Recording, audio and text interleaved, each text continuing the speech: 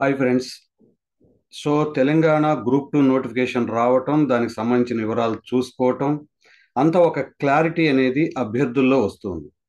అయితే సోషల్ మీడియాలో పర్టికులర్లీ నాకు చాలామంది మెసేజ్లు పెడుతున్నారు.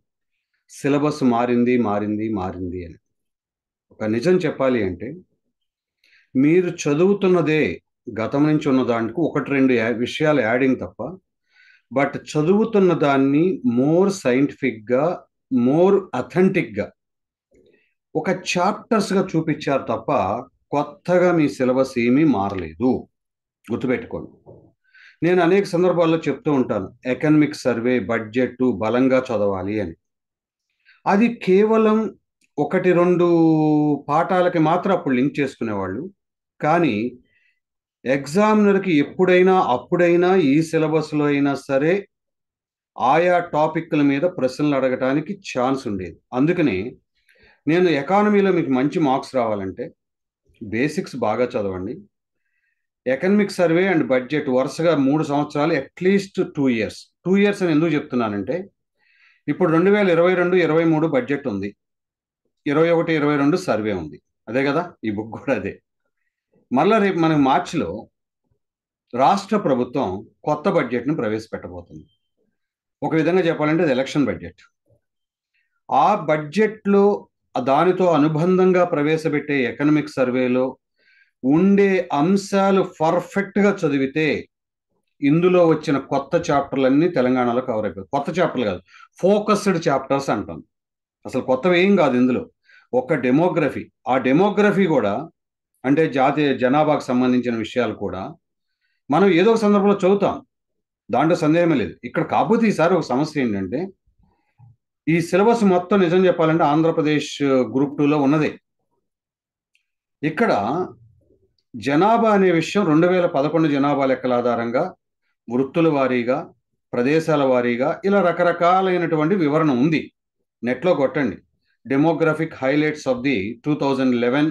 అయితే ఇక్కడ ప్రాబ్లం ఏంటంటే అప్పటికి తెలంగాణకు సంబంధించి వివరణ సరిగా లేదు. ఇప్పుడు కొత్తగా రెండు వేల ఇరవై ఒకటిలో కూడా జనాభా సేకరణ జరిగింది. చాలా ముందు చూపుతో ఎగ్జామినర్స్ ఈ సిలబస్ ఫ్రేమ్ చేశారని చెప్తాను. సో ఇప్పుడు కొత్త రిపోర్ట్ రావాల్సి ఉంది. ఎవరి టెన్ ఇయర్స్కి ఒకసారి రెండు వేల పదకొండు రెండు వేల ఇరవై ఒకటి. ఆ జనాభాని దృష్టిలో పెట్టుకోవాలి. రెండు వేల పదకొండు జనాభా లెక్కల్లో కొంత క్లారిటీ తెలంగాణ భూభాగానికి సంబంధించి లోపించింది. బట్ స్థూలంగా ఎకనమిక్ సర్వేలో ఇస్తున్నారు. చూసుకోండి రిసోర్స్ కూడా చెప్తున్నాను. ఎకనమిక్ సర్వేలో ఇస్తున్నారు. అందుకని ఏ అభ్యర్థి అయితే ఎకనమిక్ సర్వే బడ్జెట్ మీద ఇంతకుముందు పై పైన చూసేవాళ్ళు ఇప్పుడు సెక్టార్స్ వారీగా దిగండి ఈ సిలబస్ మొత్తం కవర్ అవుతుంది. అంటే తెలంగాణ పరం కావచ్చు భారతదేశం పరం కావచ్చు. కాబట్టి ఇక్కడ కొత్తగా హైలైటెడ్గా ఒక చాప్టర్ లెవెల్లో చాప్టర్ లెవెల్లో ఇవ్వటం వల్ల వచ్చే ప్రాబ్లం ఏంటి? సుమారుగా ఎయిట్ టు టెన్ బిట్స్ వచ్చే అవకాశం ఉంటుంది. అది ఇక్కడ మారిన తంత్రం స్ట్రాటజీ అనమాట అంతకుముందు లైటర్ వేలో వన్ ఆర్ టూ జాగ్రఫీలో చదివింది కూడా కలుస్తుంది కదా అని one or two bits expect చేసుకునే వాళ్ళం. ఇప్పుడు Indian demography and the Telangana demography అనేది పది పది మార్కులకి మనం ప్రిపేర్ అవ్వాల్సి ఉంటుంది. అంటే కొంచెం లోతుగా చదవాలి. రైట్? అలాగే ఆ రిపోర్ట్ జమో డెమోగ్రఫిక్ రిపోర్ట్ తీసుకుని దాన్ని అప్లికేషన్ కోణంలో చదవాలి. అప్పుడు మాత్రం మీరు క్లిక్ అవడానికి అవకాశం ఉంటుంది. అది తప్ప మిగతావన్నీ కూడా రీస్ట్రక్చర్ చేశాడు. చెక్ చేసింది కూడా చాలా బాగుంది. చాలా క్లారిటీ ఉంది. ఇది ఆల్రెడీ తెల ఇందాక చెప్పినట్టుగా ఆంధ్ర గ్రూప్ టూ సిలబస్లో ఇదే ప్యాటర్న్లో ఉంది. సరే ఇప్పుడు మనం వెళ్ళి ఒక్కొక్కటి సాక్ష్య ప్రమాణంగా ఏ ఏ విషయాల్లో మార్పులు చేర్పులు వచ్చాయి? అసలు ఆ మార్పులు చేర్పులకు మనం ఎలా సొల్యూషన్ ఏంటి? ఒకవేళ మార్పులు చేర్పులు అనుకుంటే అనే విషయాన్ని ఇప్పుడు నేను మీకు హైలైట్ చేసి చెప్తాను. కాబట్టి మీరు ఎవరో సోషల్ మీడియాలో సిలబస్ మారిపోయింది అంటే అసలు కంగారు పడాల్సిన అవసరం లేదు. ఇప్పుడు more scientific more application more authentic. ఇంతకుముందు వేగ్గా ఏ పుస్తకాలు చదవాలని డౌట్ ఉండేది. ఇప్పుడు అక్కర్లేదు. మీరు ఇరవై ఒకటి ఇరవై రెండు సర్వే చూడండి. ఇరవై రెండు ఇరవై మూడు బడ్జెట్ చూడండి. అలాగే ఇరవై రెండు ఇరవై మూడు సర్వే రాబోతుంది. అది చూడండి. ఇరవై మూడు ఇరవై నాలుగు బడ్జెట్ చూడండి. ఇండియా తెలంగాణల పరంగా మీ సిలబస్లో ఉన్న చాప్టర్స్ని కరెక్ట్గా తీసుకుంటే పక్కాగా నేను చెప్తున్నాను ప్రిపరేషన్ అద్దరిపోద్ది. అర్థమైందండి అసలు తగ్గేదే లేదు అన్నట్టుగా మీరు ప్రిపరేషన్ చాలా కాన్ఫిడెంట్గా చేయొచ్చు. నేను మీకు కొద్దిగా క్లూస్ ఇచ్చుకుంటూ ఎక్కడెక్కడ ఏముంది అనేది సిలబస్ని షేర్ చేసి I will explain you. Yes friends ఇది మొత్తం మూడు భాగాలు. ఎకానమీ పేపర్ అనేది మూడు ఇంటూ యాభై మార్కులు వన్ ఫిఫ్టీ మార్క్స్కి one fifty questions. Okay? Two and half hours each పేపర్కి సో నవ్ ఫస్ట్ సెక్షన్లో చూస్తే Indian economy issues and challenges ఒక్క మాట మాత్రం నేను మీకు స్పష్టంగా చెప్పదలిచానండి. ఎకానమీ అనగానే గణాంకాలు గణాంకాలు అంటారు. వాస్తవానికి గణాంకాలు ఎంత ముఖ్యమో ఈ రీఅరేంజ్డ్ సిలబస్ను చూస్తే డిస్క్రిప్టివ్ థింకింగ్ కూడా అంత ముఖ్యం. అంటే వివరణాత్మకమైన ఆలోచన వివరణాత్మకమైన అవగాహన అనేది చాలా ముఖ్యమని నేను మీకు స్పష్టం చేస్తున్నాను. అంటే ఇప్పుడు మీరు గతంలో ఎకానమీలో గణాంకాలు గుర్తుపెట్టుకోలేకపోతున్నాం పొగలు సెగలు వస్తున్నాయని వాటి మీదే ఫోకస్ పెట్టేవాళ్ళు వాళ్ళ ఆలోచనని ఫోకస్ని షిఫ్ట్ చేయాల్సిన పరిస్థితి వచ్చింది. ఎలాగ మనం చూద్దాం. సరే ముందు దాంట్లో చూస్తే డెమోగ్రఫీ. ఇందాక చెప్పాను ఇది మనకి ఇండియా అండ్ తెలంగాణ రెండు చాప్టర్లుగా ఉన్నాయి రెండు పదులు ఇరవై మార్కులు ఈసారి ఎక్స్పెక్ట్ చేయండి. So demographic features of Indian population. రెండు వేల పదకొండు ఆధారంగా ఇప్పుడు నెట్లో ఈ ఇన్ఫర్మేషన్ అంతా ఉంది. చక్కగా దాన్ని తీసుకుని మీరు చూడొచ్చు. Size and growth rate of population ఇక్కడ డెమోగ్రాఫిక్ డివిడెండ్ ఇక్కడ ప్రధానంగా మనకి యువ రక్తము ఎక్కువగా ఉన్నటువంటి దేశాల్లో భారతదేశం. వృద్ధ దేశాల్లో అటు జపాన్ ఇటు ఇంగ్లాండ్ ఉన్నాయి. యువ రక్తం ఎక్కడైతే ఉంటుందో అక్కడ ప్రొడక్ట్స్ అండ్ సర్వీసెస్ చాలా వేగంగా అందుతాయి ప్రజలకి. అదేవిధంగా ఆర్థిక వ్యవస్థ చాలా వేగంగా పరుగులెడుతుంది. అందుకని మొన్న మధ్య కూడా నీతి ఆయోగ్ సమావేశాల్లో యువతని ఎలా ఉపయోగించుకోవాలి? ఈ ఆపర్చునిటీ మనకు ట్వంటీ టు థర్టీ ఇయర్స్ ఉంటుంది. ఇంకా నెక్స్ట్ టూ థౌజండ్ ఫిఫ్టీ వరకు ఉంటుందని అంచనా మన యువ ఆ తర్వాత మనం కూడా మిడిల్ దేశం మిడిల్ ఏజ్ దేశంగా ఆ తర్వాత వృద్ధాప్య దేశంగా మారిపోయే అవకాశం ఉంటుంది. వృద్ధాప్య దేశంలో మనకు తెలిసి ఇప్పుడు మీరు బగబగలాడే రక్తం ఉన్న మీరైతే ఎట్లా పనిచేస్తారు? అరవై డెబ్బై ఏళ్ళు దాటిన వృద్ధులు ఎలా ఉంటారు? అదే ఒక దేశంలో మొత్తము ప్రజల్లో ఎవరు ఏ వర్గ ఏ వయో సమూహం వాళ్ళు ఎక్కువ ఉన్నారు అనే దాన్ని బట్టి ఆ ఆపర్చునిటీని వినియోగించుకోవాలి. ఓకే? అలా దీన్ని ఒక రకంగా చెప్పాలంటే డెమోగ్రఫిక్ డివిడెండ్ని డిస్క్రిప్టివ్ వేలో చదవాల్సిన అవసరం ఉంటుంది తర్వాత sectoral distribution of population population policies in India. అందువల్ల ఈ చాప్టర్ని కొంచెం జాగ్రత్తగా కొత్తదనంతో ఉంది కాబట్టి అయితే బేసిక్ అంశాలు ఇంతకుముందు కూడా నేర్చుకున్నారు ఇప్పుడు దానికి కాస్త లోతుగా వెళ్ళండి. ఇక నేషనల్ ఇన్కమ్కి సంబంధించి కొత్తగా నేను ఇక్కడ చెప్పాల్సింది ఏం లేదు. గత సిలబస్లో ఏముందో అదే ఇది. ఇప్పుడు ఇక్కడ చూడండి. మనకి primary and sector services sectors and also industry and service sectors అన్నాడు. ఇక్కడ నిజానికి ఇక్కడ అండ్ సెక్టర్ సెకండరీ అనేది అవసరం లేదండి ఆ పదం. ఇదంతా అగ్రికల్చర్కి సంబంధించి ఇచ్చింది. పొరపాటున వాళ్ళు వేశారు. ఒకటే ఒక టైటిల్. ప్రైమరీ సెక్టార్ అదే వ్యవసాయ రంగము. భారతదేశపు వ్యవసాయ రంగం గురించి చదవాలి. ఇండియన్ జాగ్రఫీలో చదివే కొంచెం వ్యవసాయము పంటలు తీరుతెన్నులు అది జాగ్రఫీ కోణం అయితే ఆ పంటలు తీరుతెన్నులు ఆర్థిక వ్యవస్థ మీద ఎలా ప్రభావాన్ని చూపించాయి అనేది ఇక్కడ మనం చూడాలి. ఏమీ చేయొద్దండి. ఐఎమ్ ఛాలెంజింగ్ ఇండియన్ ఎకానమీలో ఎకనమిక్ సర్వే తీసుకుని ఇరవై ఒకటి ఇరవై రెండు రాబోయే ఇరవై రెండు ఇరవై మూడు ఎకనమిక్ సర్వే బలంగా చదవండి. థర్డ్ అండ్ ఫోర్త్ చాప్టర్స్ అలా వెళ్ళిపోతాయి అంతే. మీరు ఎక్కువ ఆలోచించబాకండి. ఓకే ఉదాహరణకి ఉమ్మడి ఆంధ్రప్రదేశ్లో ఉన్నప్పుడు ఆంధ్ర భూభాగం అభివృద్ధి చెందడంలో ఈ గ్రీన్ రెవల్యూషన్ అనేది ఒక ముఖ్యమైనది ఇక్కడ స్పెల్లింగ్ కూడా తప్పుబడింది రెవల్యూషన్ అనేది. అలాగే ఇరిగేషన్ అగ్రికల్చర్ ఒక విధంగా నేను ఏపీ ఎకానమీ బుక్ రాస్తాను. ఇవే ప్యాటర్న్స్ అనమాట ఎనీవే అలాగే మనకి ఇక్కడ agriculture pricing agriculture subsidy food security ఇవన్నీ కూడా మొత్తం మీకు ఎకనమిక్ సర్వేలో డిటో ఉంటుందండి. కాబట్టి రాబోయే ఎకనమిక్ సర్వే ఇప్పుడున్న ఇండియన్ ఎకనమిక్ సర్వేని జాగ్రత్తగా ప్లాన్ చేసుకుని మీరు చదివితే చాలు. ఆల్రెడీ ఇంతకుముందు నేను పదే సార్లు చెప్పేవాడిని. ఇలా టైటిల్ పెట్టి మీకు ఇవ్వకపోయినా మనం సర్వేలో అవన్నీ చదవాల్సిందే. తప్పనిసరిగా ఇప్పుడు ఇంకాస్త విస్తృతంగా లోతుగా చదవండి. తర్వాత సెకండ్ది industry and fourth chapter industry and service sector అన్నాడు. సో ఈ ఇండస్ట్రీ అండ్ సర్వీస్ సెక్టార్కి సంబంధించి ఇది కూడా అంతే. మీరు ఎకనమిక్ సర్వేని కనుక పర్ఫెక్ట్గా తీసుకోగలిగితే ఎక్స్ట్రా ఇక్కడ ఇండియాస్ ఫారిన్ ట్రేడ్ ఒక్కటి తప్ప మిగతాదంతా మనకు సరిపోతుంది. ఓకే? కాబట్టి ఇక్కడ కొద్దిగా ఏంటంటే బేసిక్స్ అంటే లాస్ట్ సెవెంటీ ఇయర్స్లో ఇండస్ట్రీ పరంగా ఎలా పరిణామం చెందాము అనేది మాత్రం చూడాలి. అగ్రికల్చర్ సెక్టార్లో కూడా ఎలా పరిణామం చెందాము అనేది చూడాలి. ఇక్కడ తెలివైన అభ్యర్థులు ఏం చేస్తారంటే ఐదో చాప్టర్లో ప్రణాళికలు. కొంతమంది అతి మేధావులు నేను గతంలో కూడా చెప్పేవాడిని. ప్రణాళికలు అనే గ్రౌండ్ లేకుండా ఆర్థిక సంస్కరణలు అనే ఆధునిక ఆలోచన ప్రస్తుత అనువర్తనంలో అప్లికేషన్లో ఉన్న ఆలోచన పనికిరాదు అని. అప్పట్లో చాలామంది అనేవాళ్ళు ప్లాన్స్ గురించి వివరించలేదు కదా అని. ఖచ్చితంగా ప్లాన్స్ గురించి చదవాలి. ఆ ప్లాన్స్ అనే పునాది మీదే ఈ agriculture sector and industry sector ఎలా ఎవల్యూట్ అయినాయి?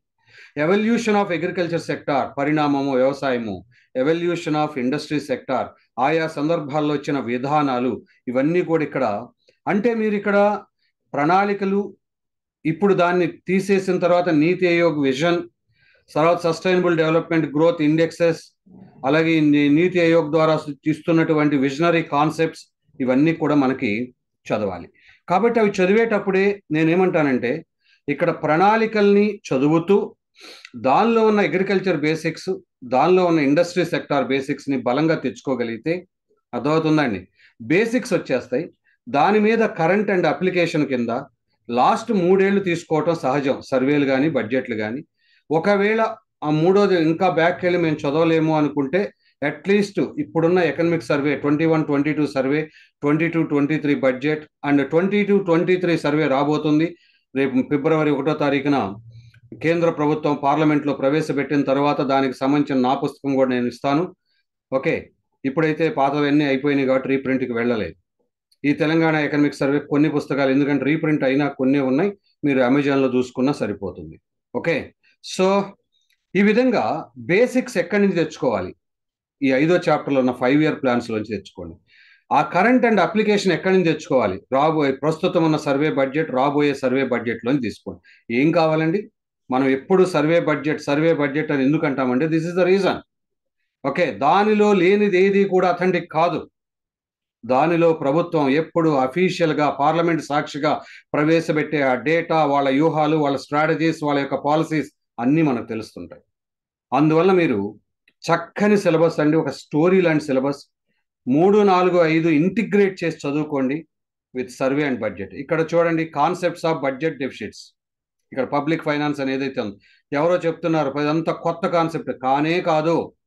మీరు ఏ వీడియోలైనా అయినా చూడండి ఎకనామిక్ సర్వే బడ్జెట్ చదవాలి చదవాలి చదవాలని ఇండియా యాక్సెప్ట్ కాంటెక్స్ట్లో అండ్ టీఎస్ కాంటె కాన్స్ కాంటెక్స్ట్లో మనం చెప్తాం. అదే ఇక్కడ concept of budget deals FRBM recent union budgets అన్నాడు. చూసారా? బడ్జెట్ కాదు బడ్జెట్స్ పబ్లిక్ రెవెన్యూ ఆ బడ్జెట్లో స్థూల ఆర్థిక అంశాలు కనుక మీరు చూస్తే ఆటోమేటిక్గా మీకు ఈ గ్రా public revenue public expenditure public డెప్ట్ మూడు వచ్చేస్తాయి. రెవెన్యూ ఎలా వస్తుంది? ఎక్స్పెండిచర్ ఎలా పెడుతుంది? ఇక్కడే స్కీమ్స్ కానీ రాష్ట్రాల వారీగా గ్రాంట్లు కానీ ఇవన్నీ ఇవ్వటం జరుగుతుంది. అందుకే ఇమీడియట్గా మీకు ఆ గ్రాంట్లు అనే అంశం తెలియటం కోసమే ఇక్కడ ఫైనాన్స్ కమిషన్ గురించి కూడా ప్రస్తావించాడు. ఫోర్టీన్త్ ఫైనాన్స్ కమిషన్ ఎలకేషన్స్ చూడాలి. ఫిఫ్టీన్త్ ఫైనాన్స్ కమిషన్ రీసెంట్గా ఇచ్చినటువంటి రోడ్ మ్యాప్ ఒకటి ఇచ్చారు. అంటే రీసెంట్గా టూ ఇయర్స్ బ్యాక్. ఆ రోడ్ మ్యాప్ని మరియు దాని అమలుని ఇటీవల కాలంలో ఆ తెలంగాణ ఆర్థిక శాఖ మంత్రి హరీష్ రావు గారు కూడా ఈ ఫైనాన్స్ కమిషన్ నిధుల కేటాయింపులో మాకు అన్యాయం జరుగుతుంది అని నిలదీయటం జరిగింది. ఆ లైన్స్ కూడా మీరు అర్థం చేసుకుంటూ ఆ ప్రాక్టికల్ అప్రోచ్ కనుక మీకు వస్తే నా క్లియర్ కట్గా ఈ సిలబస్ని చూస్తుంటే అంటే రీస్ట్రక్చర్డ్ సిలబస్ని చూస్తుంటే ఒక విజన్ ఒక ఇండియా ఎకానమీ పర్ఫెక్ట్గా నీకు అర్థమయ్యేలాగా ఏర్పాట్లు చేశారని చెప్పగలను. కాబట్టి ఏం పుస్తకాలు కొనాలా? మళ్ళా కథ మొదలు. నేనైతే సర్వే బడ్జెట్లు ఆ నేషనల్ ఇన్కమ్ కోసం తెలుగు అకాడమీ పుస్తకం అర్థమైందా అండి?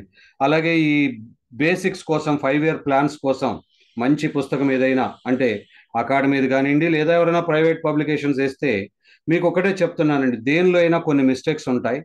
బట్ మనం దాన్ని వైజ్గా డెసిషన్ తీసుకుని చక్కగా చదివితే చాలా ఇందులో మీరు గుర్తుపెట్టుకోండి ఇక్కడ ఇచ్చిన సిలబస్ టైటిల్ ప్రకారం ఏమొస్తాయంటే issues and challenges.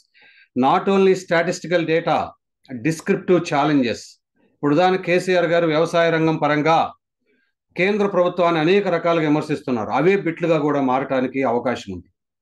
అర్థమైందండి? రాజకీయ కోణము ఆర్థిక కోణం మిక్స్ చేసుకుని ఈ సబ్జెక్ట్ని అర్థం చేసుకున్నవాడు కింగ్ అవుతాడండి రాబోయే పరీక్షల్లో. ఓకే? ఇక ఆ తరువాత economy and development of Telangana అక్కడేమో ఇష్యూస్ అండ్ ఛాలెంజెస్ అన్నాడు. టైటిల్ని బట్టి ఎగ్జామినర్ యూని అర్థం చేసుకునే దమ్ము నీలో కలగాలి. సో ఇందులో చూస్తే ఇక్కడ వరకు అంటే మొదటి మూడు లైన్లు గత సిలబస్లో కూడా ఉంది. ఇది కొంత ఇంటర్లింకేజ్ తెలంగాణ ఉద్యమము సంబంధించి కొంత లింక్ అవుతుంది మనకి. ఎందుకు అక్కడ మనకి నిధులు నియామకాలు నీళ్ళు అనే స్లోగన్తోనే తెలంగాణ ఉద్యమం జరిగినప్పుడు ఈ నిధులు అనేవి రకరకాల కారణాల వల్ల మాకు అన్యాయం జరుగుతుంది అనే కోణంలో తెలంగాణ భావన ఉండేది. ఆ లైన్లో ఇక్కడ అక్కడ తెలంగాణ ఉద్యమము నూతన రాష్ట్ర ఆవిర్భావము అనే సబ్జెక్ట్ను కూడా లింక్ చేసుకుంటూ ఈ టాపిక్ను చదివిన అభ్యర్థికి చాలా చక్కగా కాన్సెప్ట్ వస్తుంది nineteen fifty six to two thousand fourteen.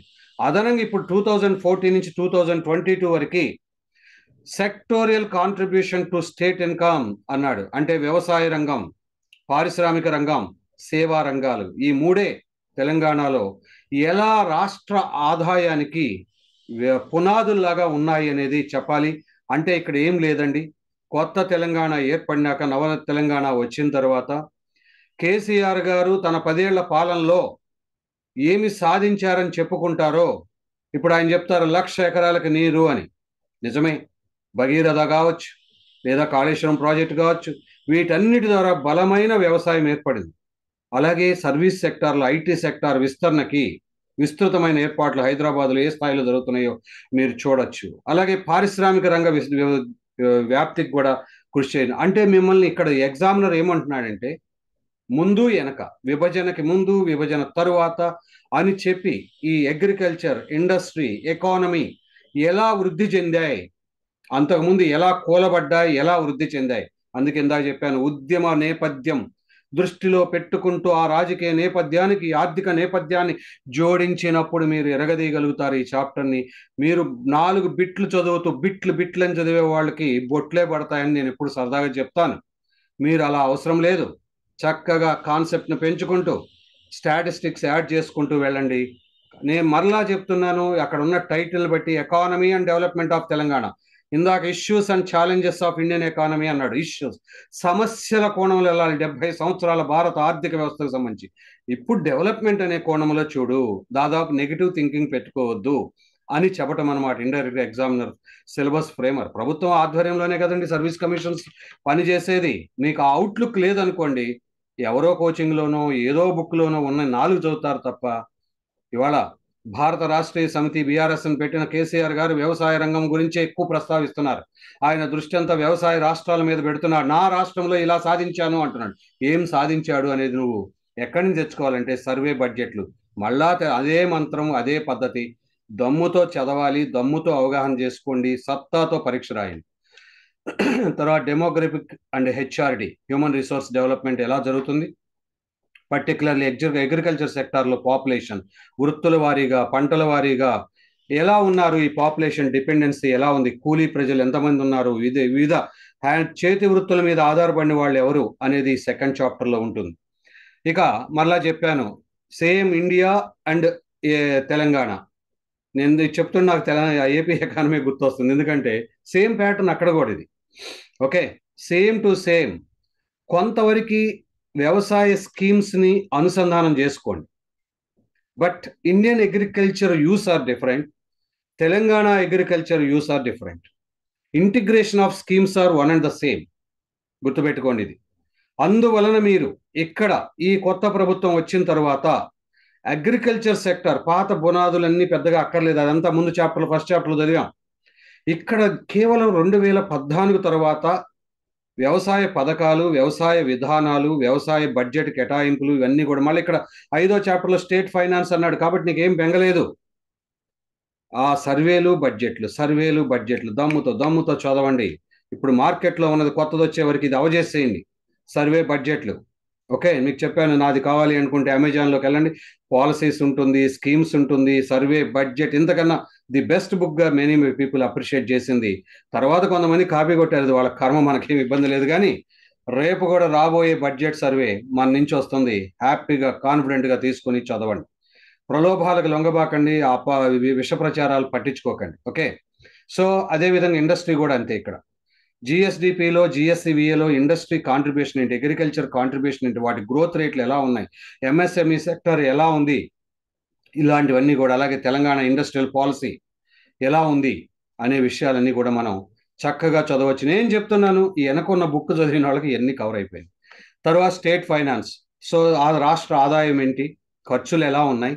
అలాగే రుణాలు ఎంత తెస్తున్నారు? ఎందుకు ఇప్పుడు పెద్ద విమర్శ చేస్తున్నాయి ఆ తెలంగాణలో ప్రతిపక్షాలు? బంగారు తెలంగాణని సర్ప్లస్ బడ్జెట్ ఉన్న తెలంగాణని రుణంలోకి నెట్టేశాడు ఈ కేసీఆర్ గారు అని చెప్పి ప్రతిపక్షాలు అంటున్నాయి. నేను కాదు. ఆ యాంగిల్ని కూడా మనం ప్రొజెక్షన్ తీసుకురావాలి. రైట్ తర్వాత వెల్ఫేర్ పాలసీస్ ఈ బుక్లో వెరీ క్లియర్గా ఎస్సీ ఎస్టీ బీసీ మైనార్టీ రకరకాల వాళ్ళకి సోషల్ సెక్యూరిటీ కోణంలో కూడా ఎలాంటి స్కీమ్స్ ఇచ్చాము అన్నది ఉన్నది. అఫ్ కోర్స్ డెఫినెట్గా పది పది మార్కులు అయినా ఒక్కొక్క చాప్టర్కి రైట్ మనం జాగ్రత్తగా ప్లాన్ చేసుకుంటే కేక్ వాకండి ఇవన్నీ కూడా మనం కొట్టడం పెద్ద కష్టమేం కాదు మార్కులు తెచ్చుకోవటం. గతంలో ఉన్నదాన్ని రీట్రేట్ చేస్తున్న ఈ గ్రోత్ అండ్ డెవలప్మెంట్ కొత్తదేం కాదు గతంలో ఉంది.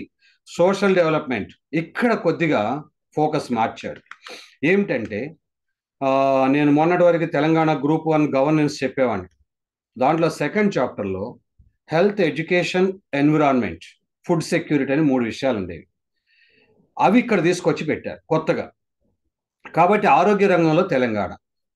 విద్యారంగంలో తెలంగాణ. ఇక్కడ పర్యావరణం లేదు కాబట్టి అది పెద్దగా అది ఫిఫ్త్ చాప్టర్లో దీని ఇదే విభాగంలో ఫిఫ్త్ చాప్టర్లో టచ్ అయ్యింది మీకు. ఓకే? సో ఆ లైన్స్లో రకరకాలైన పాలసీస్ని మనం చూసుకోవాలి. ఇక్కడ టైటిల్ గమనించండి. Title of the third section issues of development and change so ప్రగతి అనేది మనకు కావాలి. ఆ సందర్భంలో మార్పు అనేది అనివార్యంగా ఉంటుంది. ఈ సందర్భంలో ఇక్కడ మొదటి దాంట్లో చూస్తే అభివృద్ధి అనేది ఎలా లెక్కించాలి అనేది ఇక్కడ ఇచ్చాడు. అందులో ఇప్పుడు దానికి middle east countries middle Asian middle east countries అంటాం. మన భాషలో చెప్పాలంటే గల్ఫ్ కంట్రీస్. ఆ గల్ఫ్ కంట్రీస్లో విపరీతమైన డబ్బు ఉంది కానీ వాళ్ళు హ్యూమన్ డెవలప్మెంట్ ఇండిసెస్లో వెనకబడి ఉంటారు. మన జీడిపితో దేశపు జీడిపితో నార్వే అనేక నార్వేన్ కంట్రీస్ అంటాం. డెన్మార్క్ అవి చాలా చిన్న దేశాలు. కానీ హెచ్డిఏలో టాప్ ఉన్నాయి. ఏ ప్రమాణాల ఆధారంగా డెవలప్మెంట్ అనేది డిఫైన్ చేస్తామనేది ఇక్కడ మనకు చాలా important. Human development indices and sustainable development indices ఇవన్నీ కూడా ఇంటర్లింకేజ్ చేసుకోవాలి. అలాగే రీసెంట్ హ్యూమన్ డెవలప్మెంట్ రిపోర్ట్స్ ఏమున్నాయో కూడా చూసుకోండి. తర్వాత ఈ సోషల్ డెవలప్మెంట్ అంటే ఎంతసేపు development and its challenges. Okay? So ఇప్పుడు హెల్త్ ఏంటి? హెల్త్ పరంగా ఛాలెంజెస్ ఏంటి? ఇండియాలో. ఎడ్యుకేషన్ పరంగా ఛాలెంజెస్. మొన్నే న్యూ ఎడ్యుకేషన్ పాలసీ వచ్చింది. మిత్రులారా మీరు ఒక ఫ్యాకల్టీ ఒక బుక్ చదివితే కాదు. ఇంటిగ్రేషన్ ఆఫ్ డిఫరెంట్ థింగ్స్ ఇప్పుడు నేను మీతో అదే చెప్తుంది ఇక్కడ. సోషల్ డెవలప్మెంట్ అది ఇప్పుడు మనం సందర్భంలో తెలంగాణ మూమెంట్ గురించి లింక్ చేసుకోండి అని చెప్పాను. ఒక ఇప్పుడు సందర్భంలో చెప్తున్నాను. మనకి గవర్నెన్స్ రిలేటెడ్ టాపిక్స్ నా గవర్నెన్స్ అనే పుస్తకాలు ఇవన్నీ డీటెయిల్డ్గా ఇచ్చాం. సోషల్ సెక్టార్ సోషల్ ఇన్ఈక్వాలిటీస్ ఇక్కడ caste gender religion social transformation వీటి గురించి స్టాటిస్టిక్స్ పెద్దగా ఏం లేవు. ఓకే మీరు సొసైటీ అనే పార్ట్లో ఏదైతే చదువుతారో అది ఇక్కడ సరిపోతుంది ఓకే? కాబట్టి ఇది స్కిప్ చేయండి. ఈ చాప్టర్లో హెల్త్ ఎడ్యుకేషన్ సోషల్ సెక్టార్ వరకు చూసుకోండి. అలాగే poverty and measurement of poverty గతంలో కూడా ఉంది. Concepts of unemployment. అసలు అన్ఎంప్లాయ్మెంట్ రకాలేంటి అన్ఎంప్లాయ్మెంట్ పెరగడానికి కారణాలు ఏంటి? ఇవాళకి కూడా తెలంగాణలో పది సంవత్సరాల నవ తెలంగాణ వచ్చిన తర్వాత కూడా ఇంకా ఎందుకు పావర్టీ అనేది విపరీతంగా ఉంది? అలాగే హైదరాబాద్ లాంటి మహానగరం ఈరోజు భారతదేశం చూపులు మొత్తం హైదరాబాద్ మీదే ఉన్నాయి ఎకానమీ కోణంలో. అందువల్ల అది కూడా చూసుకోవాలి. అలాగే రీజి regional inequalities urbanisation migration land acquisition resettlement and rehabilitation ఇవన్నీ కూడా ఒక్కోటి ఒక్కొక్క ఎస్ఏ లాంటివండి. అర్థమవుతుందా? ఇక్కడ మీకు పెద్దగా స్టాటిస్టికల్ డేటా ఉండదు. ల్యాండ్ ఎక్విజిషన్ పాలసీస్ చూడండి. Resettlement and rehabilitation policy two thousand thirteen చూడండి. అలాగే మైగ్రేషన్స్ ఎందుకు జరుగుతాయి? మైగ్రేషన్స్ వల్ల వచ్చే అవరోధాలు ఏంటి? లేదా ఇబ్బందులు ఏంటి? అలాంటి విషయాలను దృష్టిలో పెట్టుకుని మీరు ప్రిపేర్ అవ్వాలి. అలాగే పట్టణీకరణ ఇది రకంగా వ్యాస రూపమైనటువంటి డిస్క్రిప్టివ్ ఎనాలిసిస్ ఓరియంటెడ్ సబ్జెక్ట్ అని నేను మీకు తెలియజేస్తున్నాను. ఇక్కడ మీకు పెద్దగా స్టాటిస్టికల్ డేటా తక్కువ ఉంటుంది ఇప్పుడు దాన్ని చూడండి. హైదరాబాద్ దాని పరిసర భూభాగాలు చాలా వెల్తీగా ఉన్నాయి. అదే టైంలో మహబూబ్ నగర్ తీసుకున్న ఇంకా కొన్ని తెలంగాణ భూభాగాలు తీసుకుంటే ఇప్పటికి కూడా పేదరికంతోనే ఉన్నాయి. దానికి కారణం వలసలు ఎలా? ఈ పట్టణీకరణం కొన్ని ప్రాంతాల్లోని కాన్సన్ట్రేషన్ నాకు బాగా గుర్తు కేసీఆర్ గారు అధికారంలోకి రాగానే అటు వరంగల్ని ఇటు